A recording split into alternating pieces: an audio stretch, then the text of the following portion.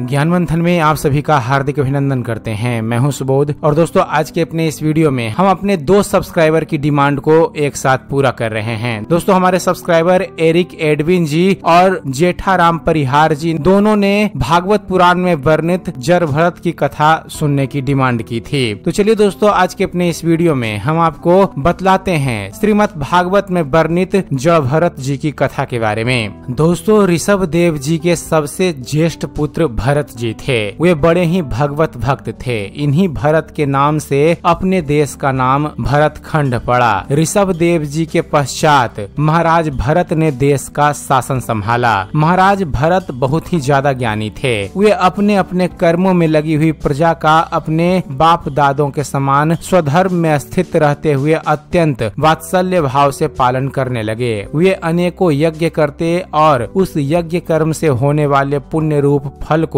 यज्ञ पुरुष भगवान वासुदेव को अर्पण कर देते थे। इस प्रकार कर्म की शुद्धि से उनका अंतकरण शुद्ध हो गया। व उन्हें दिनों दिन वेग पूर्वक बढ़ने वाली श्री हरि की उत्कृष्ट भक्ति प्राप्त हुई। ऐसे एक करोड़ वर्ष निकल जाने पर उन्होंने राज्य भोग का प्रारब्ध छिन्न हुआ जानकर अपनी भोगी हुई वंश परंपरागत संपत्ति को यथा योग्य अपने पुत्रों में बांट दिया। वह अपने सर्व संपत्ति संपन्न राजमहल का विवेक पूर्वक त्याग कर दिया। दोस्तों, यदि विषय हमें छोड़ जाए तो अशांति होती है, किंतु यदि हम स्वयं उन्हें छोड़ दे तो शांति प्राप्त होती है। चलिए कथा में आगे बढ़ते हैं। फ्रेंड्स, एक बार भरत जी गंडकी नदी में स्नान कर जप करते हुए नदी की धारा के पास बैठे थे। उसी समय एक गर्भिणी हिरनी प्यास से अत्यंत व्याकुल हो अकेले ही जल पीने के लिए नदी के तीर पर आई। अभी वह जल पी ही रही थी कि पास ही गुजरते हुए सिंह की भयंकर दहाड़ सुनाई पड़ी। प्राणों पर आ बनी देख कर उसने ज्यो ही नदी पार करने के लिए छलांग मारी, त्यों ही दैववश उसका गर्भ अपने स्थान से हटकर कर योनि द्वार से निकलकर नदी के प्रवाह में गिर गया। अत्यंत पीड़ित वह हिरने किसी गुफा में जा पड़ी और मृत्यु को प्राप्त हो गई। नदी के प्रवाह में बहते बच्चे को देखकर भरत जी को अत्यंत दया आई। वे उसे बचाकर उसे अपने आश्रम ले आए। उस मृग छौने से उनकी ममता उत्तरोत्तर बढ़ती ही गई। वे नित्य उसके खाने पीने का प्रबंध करने, व्याघ्र आदि से बचाने, लाड़ लड़ाने और पुचकारने आदि की चिंता में ही डूबे रहने लगे। कुछ ही दिनों में मृग में आसक्ति के कारण उनके यम, नियम और भागवत पूजा आदि आवश्यक कृत्य एक एक करके छूटने लगे और अंत में सभी छूट गए। वे सोचते कि वह मृग उनके शरणागत हैं और वे ही उसके रक्षक हैं। उठते, बैठते, टहलते, ठहरते व सोते समय भी उनका चित्त उस मृग के स्नेह पास में बंधा रहता। हर जगह वह उसे अपने कंधे पर बिठाकर साथ ले जाते। कभी वह दिखाई ना देता तो धन लुटे दीनहीन मनुष्य की भांति वह व्याकुल हो जाते। दिन प्रतिदिन उस नन्हे मृग सावक में भरत जी की आसक्ति बढ़ती जा रही थी। एक दिन वह बच्चा खेलता, कूदता घने वन में चला गया और रात होने पर भी वापस न आया। भरत जी को चिंता होने लगी कि मेरे बच्चे का क्या हुआ होगा, कब लौटेगा? उस मृग छोने के पालन पोषण और लाड़ प्यार में ही लगे रहकर वे अपने आत्म स्वरूप को भूल गए थे। उसी समय भरत जी को पकड़ने के लिए प्रबल बेगशाली कराल काल आया। मृत्यु किसी पर दया नहीं करती। उस समय भी उनका चित्त उसी मृग सावक में लगा हुआ था। इस प्रकार उनकी आसक्ति में ही उनका शरीर छूट गया, जिसके कारण उन्हें अगले जन्म में मृग का ही शरीर मिला और वह मृग जिसने भरत जी के पास में शरीर छोड़ा, वह अगले जन्म में राजा रहुगन बना। पूर्व जन्म में किए हुए तप व भक्ति के फलस्वरूप भरत जी को मृग योनि में भी अपना पिछला जन्म पूर्ण रूप से स्मरण रहा। वे जानते थे कि मृग आसक्ति के कारण ही वे मनुष्य से चौपाया बने घूम रहे हैं। वे सोचते हैं, अब उन्हें नई प्रारब्ध नहीं बनानी, बस यही प्रारब्ध भोगनी है। इस प्रकार मृग बने हुए राजसी भरत के हृदय में जो वैराग्य भावना जागृत हुई, उसे छिपाए रखकर उन्होंने अपनी माता मृगी को त्याग दिया और पुलसत्य और पुलह ऋषि के आश्रम पर चले गए। वहाँ रहकर भी वे काल की ही प्रतीक्षा करने लगे। अकेले रहकर सूखे पत्ते, घास की झाड़ियों द्वारा निर्वाह करते मृग योनि की प्राप्ति कराने वाले प्रारब्ध के कटने की बाट देखते रहे। अंत में उन्होंने अपने शरीर का आधा भाग गंडकी के जल में डुबोए रखकर उस मृग शरीर को छोड़ दिया।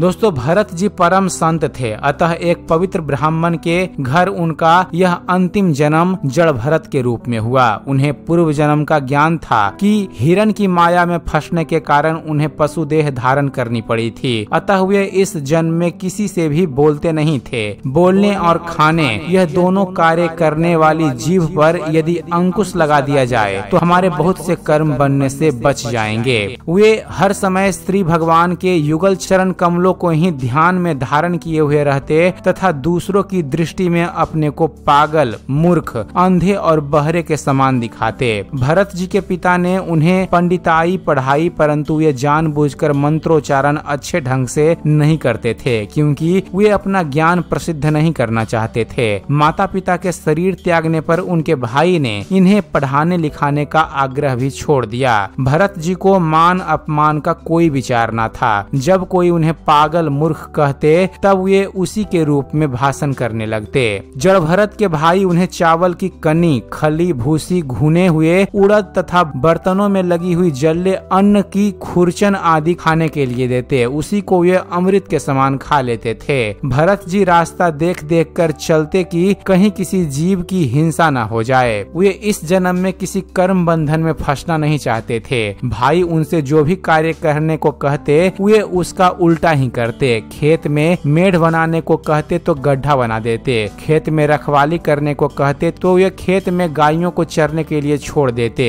वे गायों को रोकते न थे, अपितु कहते थे, खाने वाला राम, खिलाने वाला राम तो रोकने वाला का क्या काम? चलिए कथा में आगे बढ़ते हैं। किसी समय डाकुओं के सरदार ने, जिसके सामंत शुद्र जाति के थे, पुत्र की कामना से मनुष्य की बलि देने का संकल्प किया। उसका पकड़ा हुआ पुरुष पशु उसके फंदे से दैववश भाग गया। अंधियारी आंधी रात में उसे ढूंढते ढूंढते, अकस्मात ही सैनिकों की दृष्टि इन अंगिरस गोत्रीय ब्राह्मण कुमार भरत जी पर पड़ी, जो मर्ग बराह आदि जीवों से खेत की रखवाली कर रहे थे। सैनिक जन इन्हें बंदी बनाकर चंडिका मंदिर में ले गए। तदंतर उन चारों ने विधि पूर्वक उनको स्नान कराया। विभिन्न प्रकार के वस्त्र, आभूषणों चंदन माला और तिलक आदि से विभूषित कर अच्छी तरह भोजन कराया। फिर धूप, दीप माला आदि, उपहार सामग्री सहित बलिदान की विधि से भरत जी को माँ भद्रकाली के सामने नीचा सिर करके बिठा दिया। जड़ भरत जी ने माता जी को मन ही मन प्रणाम किया, वह सिर नवाकर शांत चित्त से बैठ गए। इसके पश्चात तस्वराज के पुरोहित बने लुटेरे ने भरत जी के रुधिर से देवी को तृप्त करने के लिए देवी मंत्रों से अभिमंत्रित एक तीक्ष्ण खड़क उठाया। यह भयंकर कुकर्म देखकर माँ भद्रकाली मूर्ति तोड़कर प्रकट हुई।